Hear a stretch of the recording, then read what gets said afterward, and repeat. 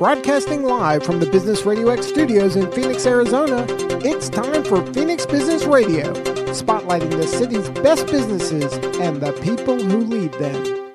Welcome to 3C Amplified. I'm your host, Jacqueline Destreps, here to highlight the businesses, nonprofits, and individuals collaborating to amplify their impact in the community. This series is sponsored by Another Hand Advantage, where I create marketing strategies for community minded small businesses and nonprofits that fit their budget and their schedule while making their brand stand out in front of your audience.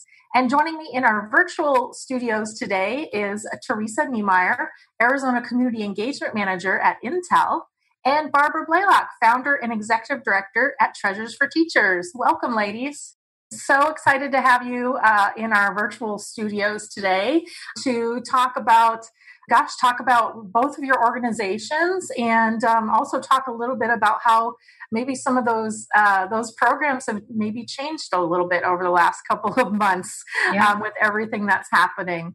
So, Barbara, how about we talk? Um, start with you and just kind of give us an introduction here to Treasures for Teachers and what that is.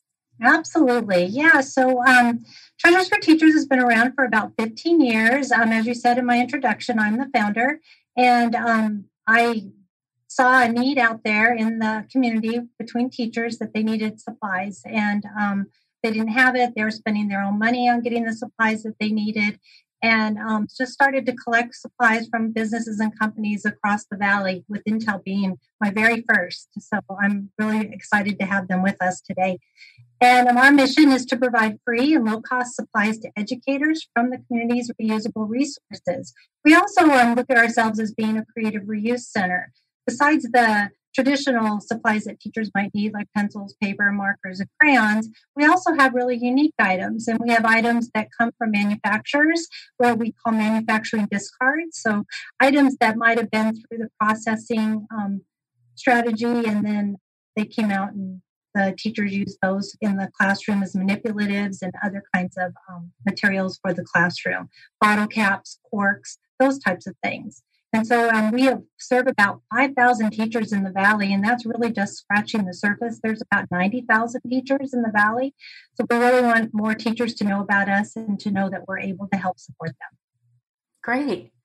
And Theresa, I mean, many people are familiar with Intel, but what is it that you, so unique about what you do for Intel? Well, Intel's been here in Arizona for 40 years. This is our 40th anniversary. And I'm very fortunate to work in a role where we reach out to the community and try to make sure that we're being good neighbors. And so, in my role, I get to work with um, fabulous organizations like Treasures for Teachers to make sure that we're being good neighbors and good community partners and helping further their missions. You know, we all rise together if we're all supporting each other and working collaboratively. So I'm very fortunate to be able to work in collaboration with some of our nonprofits to make sure we're building robust communities. So, Barbara, you said 15 years, Treasures for Teachers. How did Treasures for Teachers start? Where did you even begin? Obviously, you saw, you said you saw a need in the community, um, but what was it that you were doing at the time um, instead of, you know, running this nonprofit? What were you doing at that time, and how did you see that need, and kind of where did you go from there with getting this off the ground? Yeah, really good question. So I was actually the senior regional um, preschool director for the Valley of the Sun YMCA. And the YMCA was going through an accreditation pro- process through the National Association for the Education of Young Children. And I was responsible for getting 13 of the YMCA programs accredited.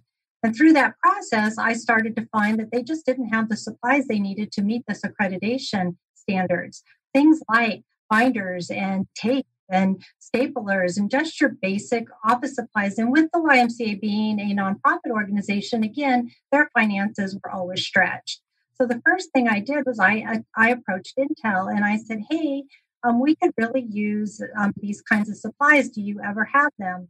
And um, they said, "Yes, we do." As a matter of fact, we do this program called Dump Your Junk every quarter, and all of the administrative assistants and um, have to clean out their desks and their offices and purge. And we would really love to give you these supplies so that you can get them out to the YMCAs. And that's really how it started. And it started in my garage. so I started collecting all of these supplies in my garage. And I would go out to the YMCAs and deliver the supplies and say, look at what Intel did for us. And then I do know, um, and Theresa, I don't know if you know this story, but I do know that um, Intel has meets with a lot of the other big companies, all the community relations people, and they told um, somebody about us doing this. And I started getting calls from other companies from Wells Fargo, Motorola, saying, "Hey, we want to help. We have supplies." And then, um, from one thing led to another. My garage was literally overflowing. so at that point, um, I reached out to the Chandler School District, and they gave us two portables to start the organization out of. And um, it was Erie Elementary School at the time, and we were able to move all of the supplies that were in my garage into these portables and then go out. And then that's when I started to um, the program. Actually, left the YMCA. I got valley fever and got very ill. And so after I recovered from valley fever, kind of took the organization and um, ran with it from there, literally. That's great. And got your garage back. yes. My husband was happy about that. Yeah, I can imagine. yes. I would have to say, still to this day, we're um, sharing the good work that T for T is doing. And as we come across other organizations, we refer them to Barb. And mm-hmm. um, as we meet teachers, we're telling them, Did you know about T for T? And just being um, almost evangelical uh, about sharing the good work T for T is doing. Thank you. So Theresa, now you've been with Intel for uh, how long did you did you say? I can't remember if you said or not. We started in 1993. Wow. But if anyone asks, I was seven when I yes. started. so when you started with Intel, you, you, mentioned you've only been in this position for you haven't been in this position that entire time. So when you started with Intel, kind of where did you start and how did you get to where you're at now with that? Um, so my career at Intel has um, been pretty varied. Uh, the one beautiful thing about Intel is that the opportunity to um, move around into different organizations and different departments is um, encouraged. And so I've been in our finance group, I've been in our manufacturing group as a manager, in our assembly test and technology development, as well as our um, fab sort manufacturing. And uh, I've also worked in our industrial engineering group. But about five years ago, this role opened um, to where I could be full time working with community outreach. And I've always been a serial volunteer, 700 hours a year into the community. And when I saw an opportunity to do it full time and to be engaged and to be furthering the community full time, I, I definitely jumped on that chance. So now they're paying me to do what I was doing in my spare time. Yeah, that sounds great. so, what are some ways then that your Intel, that program, then reaches out to nonprofits in the community? Like, for instance, um, it sounds like you know Barbara, uh, Treasure for Teachers, has had you know basically literally from the beginning has had a relationship with Intel. Um, but what are what are some other ways then, Theresa, that um, that that Intel is is helping out? Like you said, being a good neighbor in the community and and working with other nonprofits. Oh, for sure. So, in addition to the in kind donations, so we still to this day are doing our dump our junk um, throughout our campuses. We have about 12,000 employees that work in Arizona. And, you know, we regularly have to purge the office to make sure that we're, we're not becoming hoarders. And there's times we find there's still useful life in, in the items that we no longer need in our daily jobs. So, um, in addition to gifting that to nonprofits and other organizations in the community, T for T being probably one of the biggest ones um, because they can take so much and use so much. Uh, we have a very robust volunteer program, um, and we definitely have volunteers who are in love with volunteering with T for T. Our volunteer program allows our employees to volunteer at any qualified school or 501c3 nonprofit. And our Intel Foundation then at the end of the year matches their volunteer time with a payment to the organization um, in, in the amount of $10 per hour. So we accumulate all the hours our retirees and our employees have logged toward, to T for T. And then at the end of the year, we send them a check um, for those hours. So I think it's great because not only are we able to um, allow T for T, the additional help and the additional work, but then they get uh, a check at the end of the year for that work and that time. Yeah, I love that. So, speaking of volunteers, then Barbara, how are volunteers um, involved with your organization? What kind of uh, impact are they having? Well, oh my gosh, we couldn't do what we do without in without volunteers. Um, of course, things have changed now with COVID, but prior to COVID, we were seeing about hundred volunteers every single day, all day long. They were coming and going, helping us in all different um, aspects of the organization.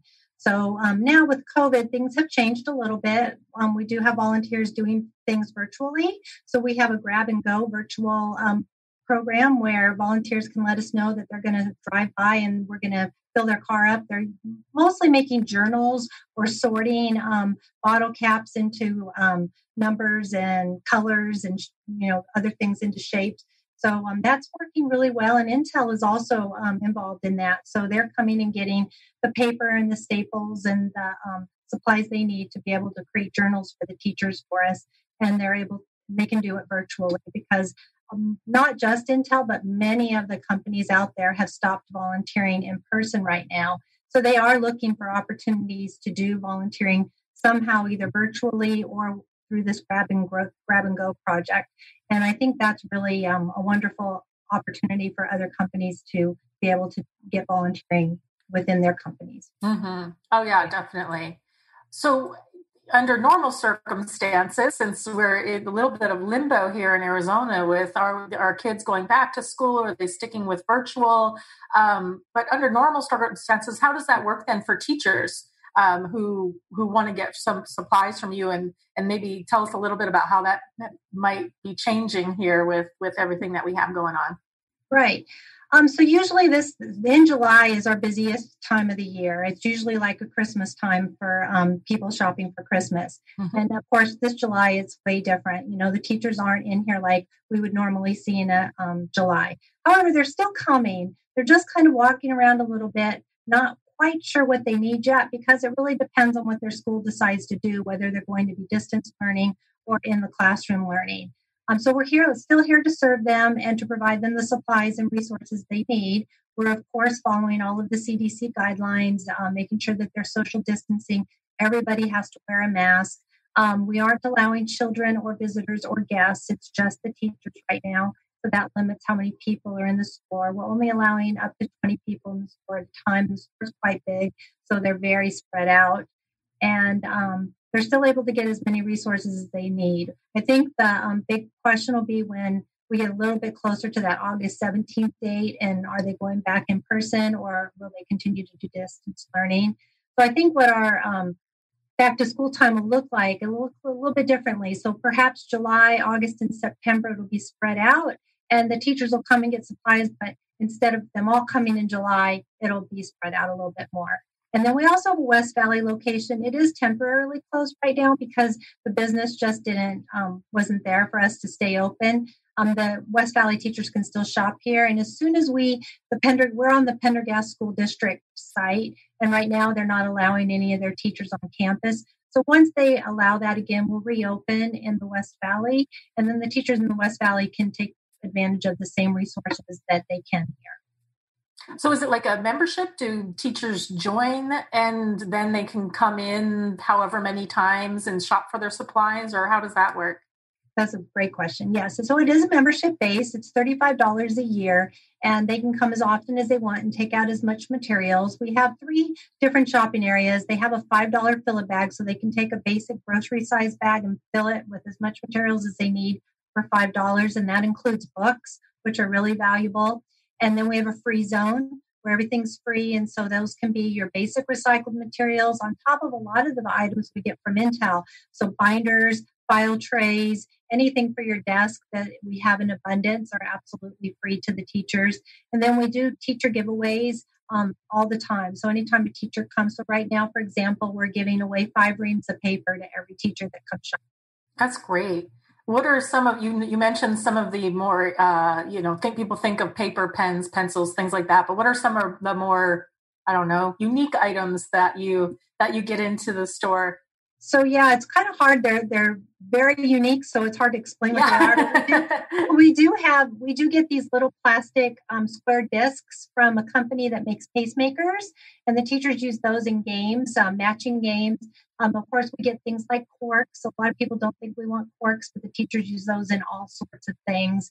And then we get a lot of promotional materials. So, for mm. example, we've been working with a sports company that makes sports mem- memorabilia. Mm. So we're getting all the lanyards and all the items that they would have used to um, advertise for a sports um, company. So that that's another kind of odd different thing. And then a lot of things we get from intel is we get file folders that have been gently used and the teachers don't mind that at all. And sometimes they'll use those to cut out shapes. So for oh. example if we get used red file folders they might cut out apples right out of the file folders. So the file folder's still good. A lot of people will say oh you probably don't want our used file folders. And i'm like no we absolutely want your used file folders. Why and then we show them how that we can reuse those file folders. Yeah, that's exactly what I was going to say. Just like you had re- referenced earlier, it's just about it's more. It's kind of a reuse program as well. Yes. So a lot of these things could just end up in the landfill, or you know, like Theresa was saying, you know, uh, in the bottom of somebody's desk, or yeah. in the back of a supply room or something. But instead, you know, you're finding unique ways to get those back out into the community and to help out those teachers rather than having to go to the the store and purchase you know yeah. card, little cardboard apples or whatever yes. they might want to make out of those folders yeah. right so theresa what are some other ways so you mentioned um, so you mentioned that intel employees can go out and volunteer um, and like you know hands-on type of things like this but what are some other ways that volunteers uh, intel volunteers are helping out in the community Sure. So our episodic volunteering, where we actually go down to T4T, um, those types of events right now are on hold um, based on our pandemic leadership team advising us all to kind of stay at home and, and be safe and make sure we keep others safe. Um, but we do still have some essential work going on on site at our Intel locations here in Arizona. We have um, three large manufacturing fabrication facilities, and so they're still running 24 by 7. So one of the great things about working with T4T is she mentioned the gra- uh, Barb mentioned the grab and go bags. We actually assembled some kits, um, a, a little more than 100 of them, and left them on site for employees to grab while they were on their lunch break or before they went home, so they could take them with them to volunteer and then drop them back off. Um, so we're still being able to provide on-site volunteer opportunities for employees who are still working on site. Um, and in addition to that, we have our skills-based volunteer programs where um, rather than those episodic opportunities, we have our employees who are helping with anything from web design to software development to um, financial planning. Um, again, with 12,000 employees at, in Arizona, they have all sorts of skills that they're willing to lend out to nonprofits. So there's still some of that going on, provided we can do it virtually. And then I think one of the other um, neat things is that we have a ton of employees who are also board members. Um, I do believe we've had a board member with T4T for almost its inception. it has, yep. Um, but we have our employees who are passionate about organizations in the community and serve on their boards to help them further their um, further their uh, missions. So it's been great that way. And what is the general, um, I guess, general feeling around volunteering throughout throughout Intel? Is it something that is uh, expected of employees, or is it something you know? How are they finding out about all these volunteer opportunities and what it is to get involved in the community? Right? So we encourage it. It's part of our DNA. It's part of our who we are as Intel that um, we encourage all of our employees to volunteer. We don't put a limit on how often they can volunteer. They just have to have a discussion with their manager about being able to support it if it's during work hours, just making sure that they can get everything done. And we have employees who give thousands of hours each year. It's almost like they have a second full time job. Um, this year is a little bit different because of everything going virtually. It's a little bit harder to get them out in the community.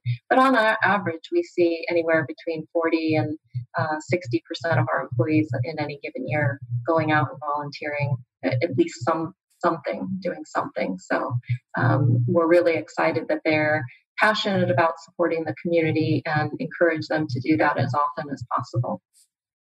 And you mentioned before too, when you were talking about the um, the volunteer hours being tallied, and then at the end of the year, an actual monetary donation from the Intel Foundation being made. And I want to say I heard you say something about retirees in there. So, what is yeah. yeah. Yeah, so we don't limit it just to our active employee volunteers. Any of our retirees who have left from Intel are also able to participate in our volunteer programs. So um, we do still have a lot of retirees in the Valley, and they are active and volunteering. And then one of the cool things that we have at Intel that we provide to our employees is when they're transitioning into retirement and, and getting to the point in their career where they are ready to, to um, to move on to retirement, we find that they're not very good at sitting still. So we offer this um, amazing opportunity for them to uh, do encore fellowships. So they work with the uh, nonprofit Experience Matters, and Experience Matters helps connect them with other nonprofits who need their skills and their um, volunteer or their time in the community. So we pay a grant to Experience Matters to cover the cost of them to um, have a, a, basically it's like a paid internship and it's a thousand hours that they give over the course of the year to a nonprofit to help them. And Barb's actually had a few folks who've retired from Intel and fallen in love with what T for T is doing. And even after their encore fellowships are done, they end up sticking around and being serial volunteers in their retirement. So not only is it the benefit of the Encore Fellowship for a thousand hours, but they'll stick around and do that volunteer time and get that same $10 an hour match. So it's kind of a, a from the, the beginning of your career, even into your retirement, that Intel's supporting our employees to support nonprofits in the community. Wow, that's amazing. And actually, that leads into I was actually going to ask um, Barbara. Tell, are there volunteers who've been with you for you know just years and and just don't want to leave just want to stay? Absolutely absolutely. And um it's it just makes it they feel like they're part of the organization and they feel like some type of ownership right um, but definitely with Intel as well. Um, actually, Kristen Marshall, who um, was actually the very first, one of my very first board members, today she was one of those Encore um, volunteers. She finished her encore position and she is now our outreach coordinator. She's still helping us. She's still working for us. She's going out and she can tell the story so well because she was the very first board member um, from Intel and that helped us grow. So yeah, the uh, volunteers just have I, I don't know what we would do without them. It's unfortunate with the situation that we're in right now, but I do believe we'll see those 100 volunteers come back walking through these doors. I sometimes say that kind of the heartbeat of T for T has been taken away right now, and we need CPR to kind of make it come back to life. And as soon as this pandemic's over and those volunteers are back in here, it's going to feel so normal again because right now it does kind of feel like there's something missing. And it's it's the volunteers for sure. Yeah yeah volunteers can be some of the best ambassadors um, for that very reason that you mentioned barbara just because they do know kind of the, the heart of the organization um, and they know know it from the perspective of somebody coming from the outside and coming in and then just feeling like they're really a, a part of that organization and then they can go out and share those stories and hopefully bring in you know more volunteers and organizations that can help out with you know uh, not just volunteering but donations um, it's such a great uh, just a, a, great asset to any nonprofit is having that strong volunteer base. Yes of course what are some ways then that you're staying kind of engaged with volunteers given that like you said they're not being able to come in in the in the capacity that they were before? What are some ways that you're still keeping them engaged so that um, when we you know you can open the doors again and we can have everybody back um, back into these spaces um, they're still you know you're still top of mind and they still want to be back right so i think communication is really important and so what we did is we've sent out two i think one one kind of email to them and then two follow up emails with surveys, asking them what they need, where what their comfort level was, and giving them the opportunity to tell us how we can make the organization comfortable for them to either come back or do the grab and go volunteer activities until everybody kind of feels safe. Our volunteers are of the really um, the age that's critical, you know, the critical mm-hmm. care age. Right. So we wanted we wanted to be really really careful and conscious of that. Mm-hmm And so they shared if they were comfortable or not. And then the ones that were comfortable are coming back. They are signing waivers saying that they haven't been exposed or anything like that each time they come. And then they're engaged. We just have to do it a little bit different. They're a lot more separate. So, you know, before we would have 10 people in a room together and they would be laughing and drinking coffee and volunteering at the same time. Now that's not so much. We have two or three people in the same room, but they're still here. And as things get better, we will see more and more um, volunteers coming back. Yeah, that's great. And I, we can see behind you every so often. Oh. I see somebody scurrying past with a box of this or a bag yeah. of that or something, so you can tell that things are still humming along there, just at a little bit of a lower capacity. Right. Um, and I do have to say, Barb has made it just extremely easy to work with her, and, and oh, she's been you. communicating um, and letting us know what they're able to do. And even with our grab and go opportunities, we're literally just pulling up with a car, popping the trunk, and she has people who are loading the trunks with the materials for these grab and go activities. So there's been the no contact. It's been very, very easy, and she's been very accommodating to be able to fit into working with us with our um, boundary conditions for volunteers. And Theresa, I imagine those types of, um, like you said, ease of you, ease of being able to still work with them is important for the types of nonprofits then that you at Intel ends up um, partnering with. Um, it makes it a lot easier if you you know exactly what it is that they need and they can communicate that to you. Um, what are some other ways then that you are you know you're working with nonprofits? I know you mentioned you know volunteers um, but what are some other ways that intel is helping other organizations in the community? Yeah so we uh, as i mentioned it's a whole lot of virtual stuff or it's uh, volunteer activities that we can do from a virtual site. So we have the grab and go type of activities going on but we're also doing some video mentoring. Um, we've got some first lego league teams that we've got with kiddos and through girl scouts and boys and girls clubs and through some schools we have some of our um, technical um, engineers working with the kiddos and sharing what their jobs are and what they're doing. And it, although there are some challenges with uh, trying to be a coach for a Lego team uh, virtually, they're, they're, making the attempt and they're trying to make sure that that's happening. Um, so I do know that our employees are excited to get back to a in person. Um, at some point in time, but they are still trying to forge ahead and still con- connect with the community in these virtual spaces.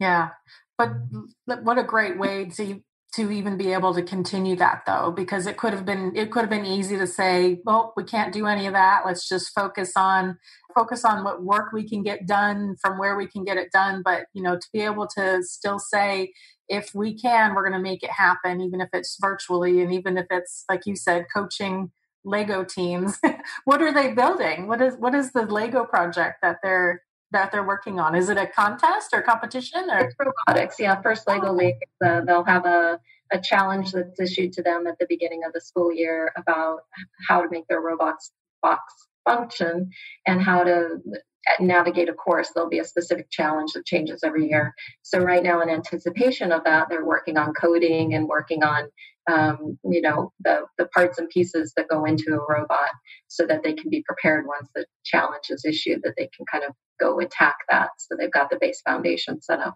So it's rather interesting to try to to try to do that virtually but it's a uh, it's a great way to still connect with the kids and make sure that they've got stem activities going on still yeah so you've mentioned uh, quite a few of the experiences that you've mentioned, Theresa, have revolved around um, education and organizations that are providing, uh, like T for T, providing supplies to educators. Is that one of the main focuses then for Intel when they're working with um, nonprofit organizations? Is there anything uh, like specific, um, you know, that they that they're looking for when they're partnering with a nonprofit in the community? Sure. So, you know, we are a tech, uh, technology company, so a lot of our employees are technically trained, a lot of engineers. Um, so many times they do gravitate towards those STEM or STEAM type of activities. However, you know, again, with 12,000 employees, their um, passions span the gamut. So we have employees who are passionate about animal care, and we do match um, time, volunteer time for, say, foster um, folks who are fostering animals in their home. And we have seen a whole bunch of employees since they're working from home uh, head to the shelters and take take on a, some dogs or cats to be able to take them, keep them company while they're working from home. So we've seen a lot of engagement even there, an uptick there, but they do tend to gravitate a lot towards those uh, STEM type of activities. Um, and I think T for T has uh, lots of intersection points there where there's making allowing for those supplies for the STEM activities to happen. They're supporting teachers, which our employees are also passionate about. So there's a lot of uh, points that T for T has that really make our employees excited to work with them. And you you mentioned before a volunteer that went on to become, you know, uh, well, was a board member and went on to become your outreach coordinator. Um, Theresa, I imagine you probably hear a lot of different stories from the volunteers over the years, and and kind of that ripple effect of they just start off as, oh, I'm just going to volunteer a couple hours for this organization, and then they go on to who knows what. Any stories come to mind that you would want to share about those types of experiences? Oh, for sure. I think there's um, one employee.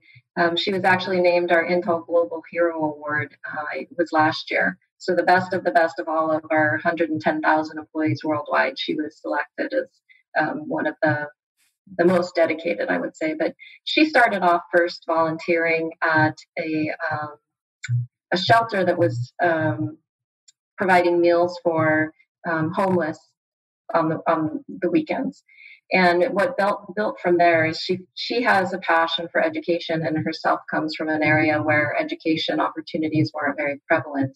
And so she saw the, the families that were coming through the shelters and well fast forward 10 years she started uh, her own nonprofit called education empowers that is actually dedicated to helping um, connect marginalized kiddos and communities to stem opportunities and so she has robotics clubs that are at 20 plus um, other organizations now that, that bring in kiddos across the valley. Um, and the program has even expanded into California and Oregon. And we just have a chapter starting up in India. So it's great to see that an employee's passion with a little bit of support can grow to be something so huge and so so vast. So there's a lot of dedication and heart. They start off as volunteers, but then they end up falling in love with the mission of our nonprofits and they stick around and give them give it their all. Yeah, and I think you mentioning the support there is kind of that key to um, to you know it's it's one thing to engage your employees uh, or to let them know, hey, we value uh, you volunteering in the community, but then to back that up to be able to give them that support. And like you mentioned, um, you know, not having limits on how many hours that they can volunteer and you know having that incentive of for however many hours you know you're not just giving your time to this nonprofit but that can also turn into you know dollars at the end of the year for that nonprofit. I imagine for a lot of employees that you know become especially passionate about this it's because there is that support that they continue on doing um, doing those things with those organizations and continuing on even you know maybe not just with one organization but even finding other organizations to work with. Yeah they, they do. They end up finding that it builds and we have another program too that we allow our employees to participate in it's our employee matching gifts program so if our employees make a fi- personal financial donation to a nonprofit the, the intel foundation then matches that donation dollar for dollar and an employee can submit for up to $10,000 every year to be matched to any organization.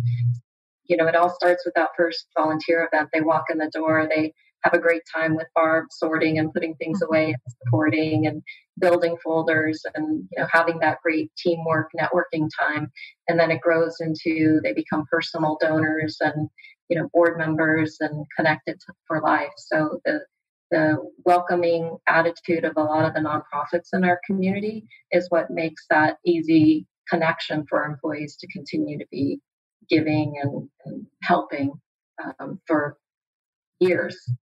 Right. And like we were talking about before, it just goes back to that nonprofit, you know, looking at the volunteers as um, really as an asset. And just as much as they're looking at the dollars that are coming in, looking at the volunteer hours that are coming in as well, because those things can be, you know, changed into easily, you know, money um, to help support the nonprofit later down the road.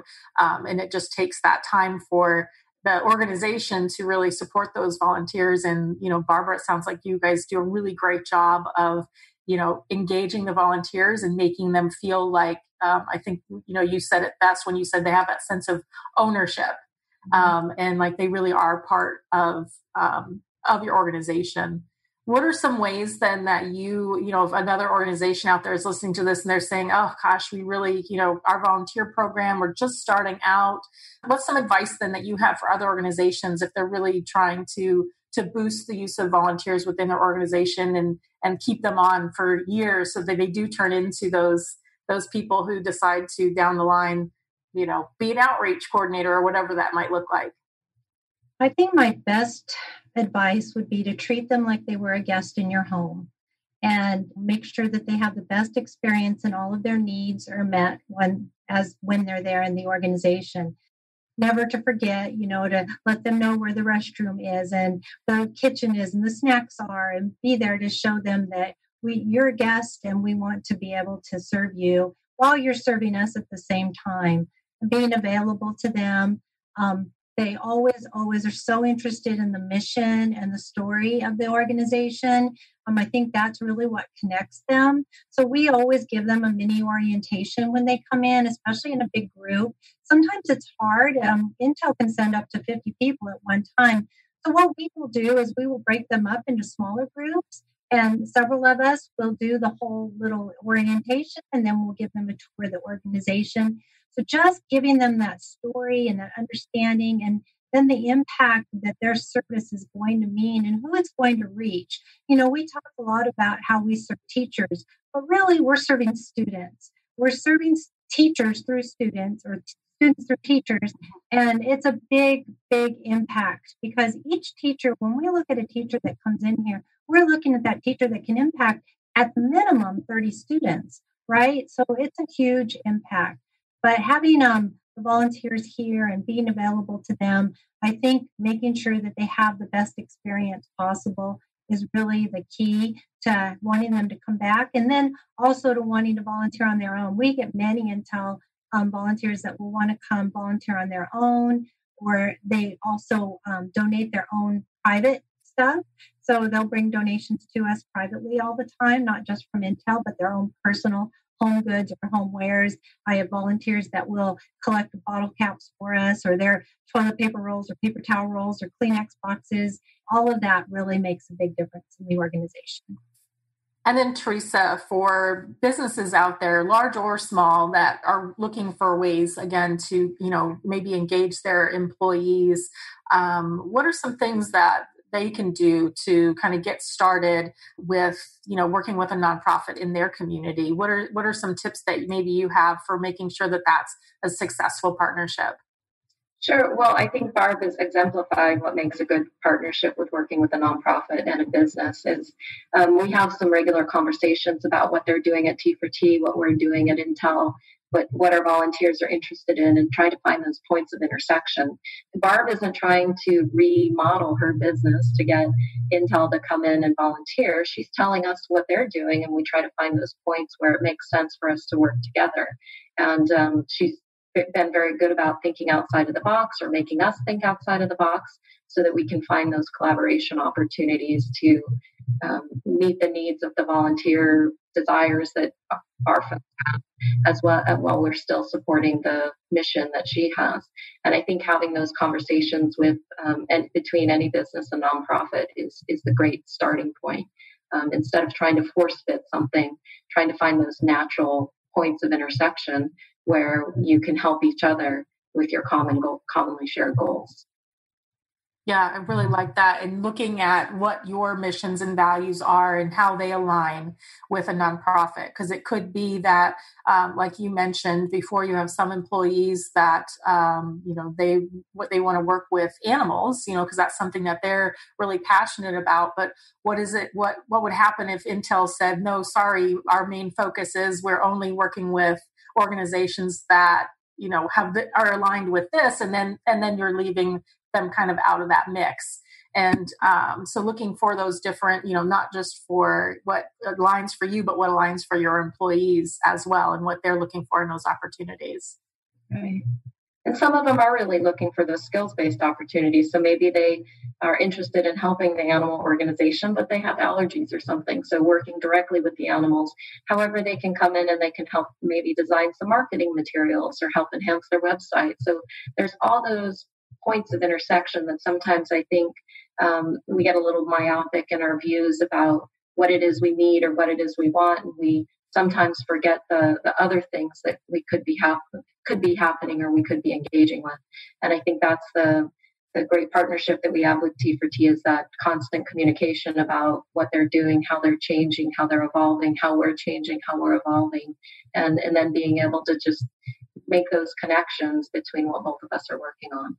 So, Barbara, where do you where does T for T go go from here? Now, like I know you mentioned, it's uh, you know things are kind of up in the air with we going back to school? We not going back to school? But you know, but big picture, I mean, things will get back, and kids will get back into school at, at some point in time. Um, what are what are some things that you're really looking forward to as far as Treasures for Teachers and what you've got on the horizon for Treasures for Teachers?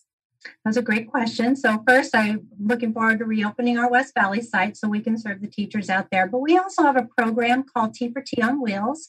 And um, Kristen is actually part of that as the outreach coordinator. And we take school supplies brand new to the schools that need it the most. And um, this year is going to be even more important because, from what we understand, there's going to be a higher need for more school supplies, especially if students are learning from home and learning from the classroom. They're going to need two sets of supplies. Or if they're learning from the classroom, um, there's no more sharing of supplies within the classroom because of the virus. And so the teachers are going to need to provide more supplies to their students individually. So I'm looking forward to being able to go out and get these supplies into the hands of the teachers and students that need them the most. And we get to do that because we have a lot of sponsors and donors out there that help us financially offset the costs that it takes to um, to take these school supplies out to them. So really just trying to get out and go to where they need us. You know, the teachers don't always have to come to us and sometimes it is problematic for them to come to us. They can't get here either for time or you know, money or whatever reason it is. So being able to go out to these schools that are that maybe are farther away from us or if they just can't get to us for whatever reason, being able to um, distribute school supplies to them um, is what I'm looking forward to. Yeah. And as far as the teachers, uh, how do they get involved with the program? We talked a little bit about how it is membership based. What do the teachers need to do if they aren't already involved with Treasures for Teachers? Yeah, so um, teachers really just need to come come on in. Um, all they need to do to prove that they're a teacher is show us a, a badge. Most teachers have a school ID badge or a part of their contract or be um, on the website or a letter from their principal. So, really simple to qualify. And then they can just come in. We give every teacher a tour. So, we make sure that it's a good fit for them. I tell you that 90% of the teachers sign up right after that tour because um, it's quite overwhelmingly wonderful for them to see and um, then they can come as often as they want which is really nice. There's no limit on anything that they can take out which is also another great benefit. Some programs similar to us do put limits on things and i really believe that if they need 50 um, folders they need 50 folders and i don't want to say oh you only get 10 so they really there's no limit. If they want to fill one five dollar bag they can. If they don't want to fill any and they just want to come get stuff from our free zone and then our giveaway they can do that as well um, and they can come from all over the state. And as a matter of fact, even if there's teachers visiting from out of the state, we have what's called a day pass, and they can come in and shop for one day um, for ten dollars, and um, it's really quite fun for them and to be able to go back to their state and say, "Look what I found when I was in Arizona." yeah. Next thing you know, there's going to be teacher road trips coming on to Treasures for Teachers. yeah, we get that from Flagstaff and Yuma. They do come down from those, and and they come on road trips. Mm-hmm. Great. And Theresa, as far as the programs that you've got going with Intel, what are some things that you're really looking forward to in the coming months and and oh, as we look out in the next year or so? Any any new updates to the program or things that you're really looking forward to? Well, we're really um, incentivized to uh, expand our skills based volunteer programs. Um, we will always love our episodic, our showing up to paint a house or our you know, clean up a park. However, we're really excited to expand the skills based volunteerism because we just feel that it's so much more impactful for the organizations mm-hmm. where maybe 20 hours invested by a software programmer can solve a you know half million dollar problem that a nonprofit is wrestling with and so we're really looking to just deploy our em- employees into those skills based opportunities so that they can do some impactful capacity building for the nonprofits in the valley um, you know, it may not generate a ton of those matching grant hours to spend 20 hours. However, the the returns that it may make for the organizations that they're helping are just pay the dividends. You know, if they're able to save some headcount or they're able to increase their services that they're able to provide based on our employees' contributions. Um, we're we're very excited to see that happen and that change. So we're putting as part of our 2030 goals, we're putting a lot of emphasis on um, encouraging our employees to engage in those skills based opportunities. Yeah, I really like that you you kind of pointed that out as far as what that looks like. It may not, like you said, it may not look like a lot of um, hours at the end of the year that from that turn into that monetary donation. But I think skills based. I think it's getting better. I think more and more uh, companies are really looking at that, and and nonprofits are are looking at ways that they can incorporate that into uh, what they do. But um, I think for for far too long that skills based volunteering was kind of overlooked or it was difficult for for people to find those opportunities. And it's so much easier if your company is behind you and is saying we know you love to you know you know you like to do this here at work at the office and wherever that office may be these days. But what if you used a couple hours of that time and you did this work for somebody else? And like you said it could mean the difference between you know saving thousands to hundreds of thousands of dollars um, in the long run for that for that organization when they can use somebody especially with a high really high skill set of uh, you know something technical which is always going to cost a lot of money. Right, right. You know most nonprofits don't have the opportunity to have say industrial engineers on staff to be able to do some analysis as far as um, productivity and workflow and setup like that um, and it's probably not in their budget to go hire a consultant at, you know a few hundred dollars an hour to go do that. However, if you can get a professional in the industry to come in and provide those services for free, you may be increasing the productivity of your organization. You know, based on those 20 hours that were invested by a, a professional. So there's a huge cost avoidance for the organization, and they are able to expand their capacity or be able to serve more clientele. So we're really excited to um, see our employees making those types of differences for our community. We just we see it as something that'll move the needle even further in building a more robust, uh, functioning community. Mm-hmm.